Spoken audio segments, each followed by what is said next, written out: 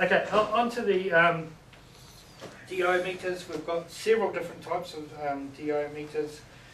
These ones are the most recent, the 550A. Uh, they're quite simple to use, but the important thing with the DO meters is you must calibrate them each time you go out.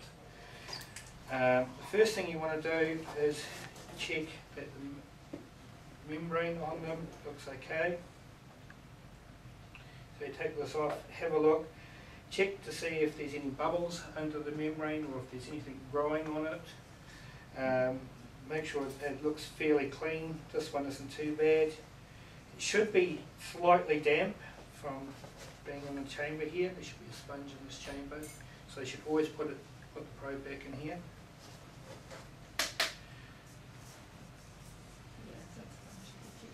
Yep. Okay, so when you turn it on, it'll come up with a startup screen. Uh, you've got several modes. It'll give you the oxygen measurements in milligrams per litre. Uh, it'll give you salinity because of course salinity uh, affects the DO reading. You don't generally have to worry about that unless you're in an estuarine or a um, saltwater environment. Um, just generally you want to leave the salinity at about 0.1.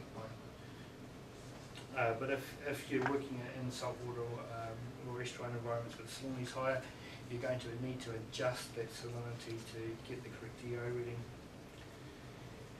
Um, and of course it'll give you uh, percentage DO. So this, when you turn on, should be around about 100% for air. It'll also give you the temperature, because temperature of course is a critical factor when you're taking DO measurements. Um, to calibrate it, uh, hold down these two buttons and the cal will come up.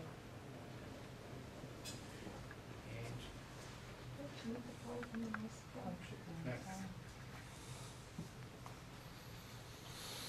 Grant, about the temperature, um, when you're taking it, do you, is there some sort of calculation you have to make um, between the uh, oxygen reading and the temperature uh, when you're working out your oxygen concentrations? uh, Or can you just take it? No, because you'll need to know, because this will give you temperature, Yeah. so you'll need to know what temp, the temperature at which you took the measurement. Okay, so it's, it's more about keeping it in a temperature stable environment or, or as close, or, or as relatively close as possible, is, that right? No, because you need, where- wherever you measure it, I mean, if you're going to be taking the, the temperature between, say, winter and summer, uh, you can take percentage DO, Oh, which is yeah. percentage of saturation, so hundred percent would be saturated. And so you, uh, what- what may be twenty degrees in the summer and saturated will be a different level in terms of milligrams per litre between, say, ten degrees and saturated in the Okay, winter. Yep. Okay, so you need to be able to recognise those differences when you, you're doing data analysis. right. The, the unit, that unit should report milligrams per litre as well. Yeah, yeah, yeah, you Yeah, should, be- you should be recording both milligrams per litre and percentage. But to get, to, to get percentage, it, it has an automatic, an algorithm embedded in it Okay, to, to take temperature and salinity yep, and, and, and take the reading relative to the hundred percent. So that's why you calibrate it.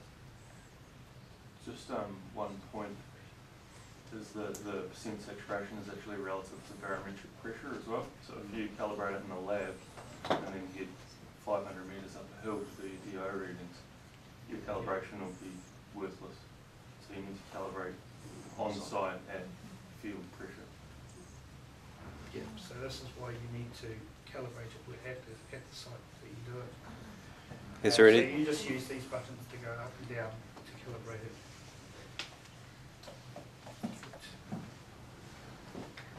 So for, if you want to change the salinity, again, just up and down. Uh, mode to change um, what's um, appearing, whether it be uh, percentage, oxygen, or salinity. Uh, all the instructions for it actually on here, so they should be really um, easy to follow. Um, what you should be doing, eh, um, before you take it out in the field, you probably just want to uh, get some tap water, uh, make sure it's well oxygenated, uh, give it a bit of a shake, and make sure you're getting a reading of about 100% and that it's fairly stable. Uh, what happens was, is that sometimes people just um, grab the um, bag, take it out in the field, and then they find that when they're taking the measurements, that it's drifting all over the place. And that's probably a sign that the um, membrane needs changing. And if you're out in the field, it's a real pain to change the membrane out in the field.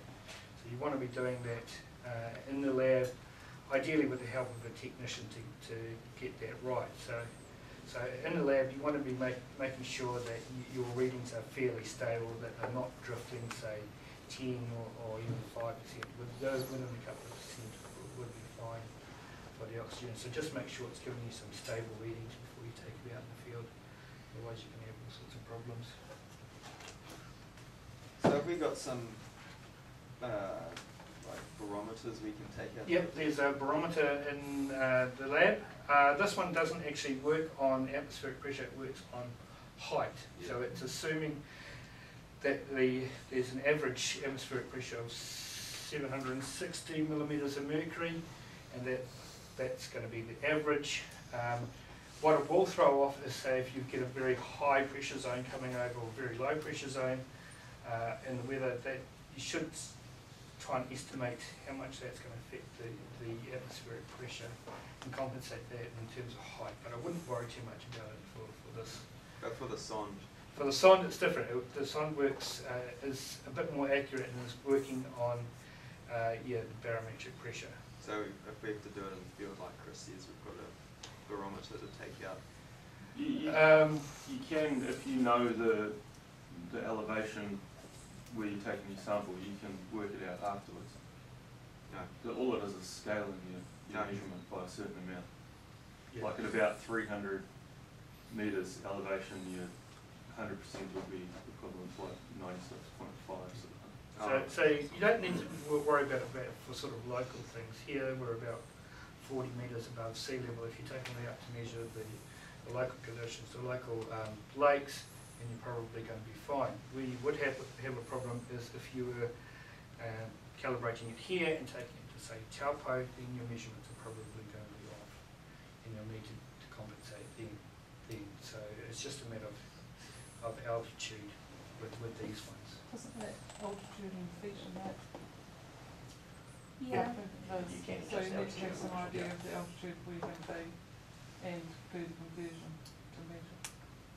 Or Yeah, I tried not to make this Mm. too complicated. Um, We've already got Uh, a limited amount of time. Okay, the next, uh, one thing I should have mentioned with the, uh, with, with the DO thing is that the, the membrane uses up oxygen when you're taking the measurement. So therefore, it's critical that the probe should have some sort of water flow over it when you're taking the measurement. If you just leave it there in still water, it's going to use up all the local oxygen and you're going to get a lower reading than what you thought. So you need a reasonable flow of water, whether that means it's stream water movement moving past it or you, you're sort of moving the probe backwards and forwards. That'll help um, the accuracy of it.